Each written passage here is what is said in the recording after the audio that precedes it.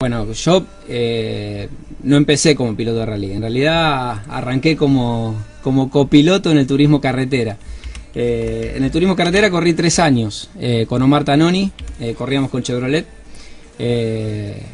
o sea, mi primera aparición en el automovilismo fue en la categoría mayor del automovilismo deportivo argentino, pero como copiloto, como acompañante.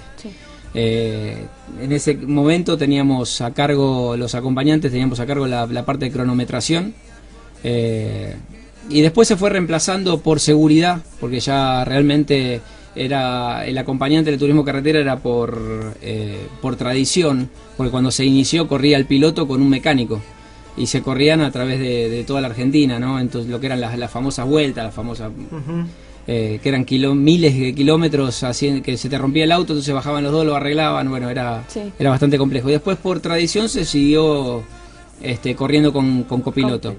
Pero ya era, en algunos casos hemos tenido accidentes grandes de los que participé también y, era realmente un riesgo innecesario tener un copiloto porque se lo utilizaba exclusivamente los pilotos, la mayoría de los pilotos lo utilizaban eh, como una parte, una parte del sponsoreo. O sea, el que subían de copiloto era uno, el hijo de uno de los sponsors, el amigo que ponía plata.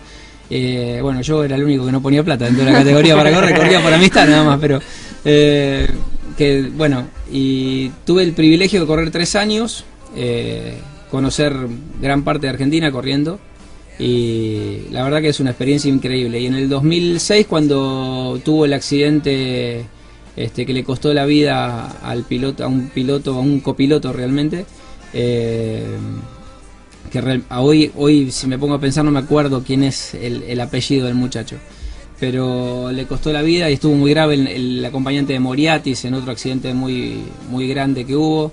Eh, desde ahí se decidió bajar a los, a los copilotos y bueno, y ahí me abrí paso yo. Tuve el ofrecimiento de la gente de Frediani Competición de Fuentes, acá cerca, un pueblo de acá cerca, para manejar un Nissan. Eh, la primera experiencia fue, después de dos o tres prácticas, fue bastante positiva. Corrimos la carrera de Fuentes, salimos cuartos. En la primera carrera, carrera que corríamos. Eh, y en el rally sí es necesario correr con navegante, ya pasa a ser navegante en vez de copiloto porque es quien te va cantando todo dentro del auto. Necesito vos tenés que confiar plenamente en lo que te canta el que tenés al lado.